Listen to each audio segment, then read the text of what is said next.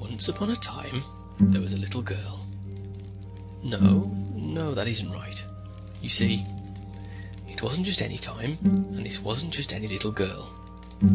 This story is about Emmeline, and it all happened a long time ago in a town that doesn't exist. At least, not anymore. There was one problem. Emmeline had been forgotten by absolutely everyone. Emmeline tried her best to be a good little girl. Then she tried very hard to be a not so good little girl. Either way, no one was paying attention. There was nothing she could do.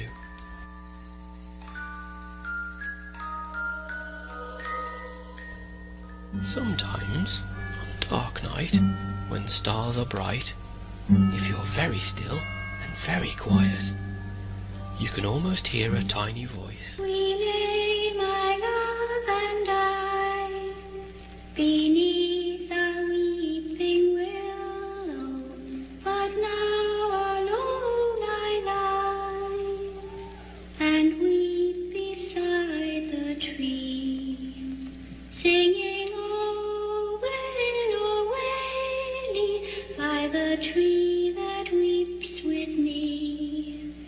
singing.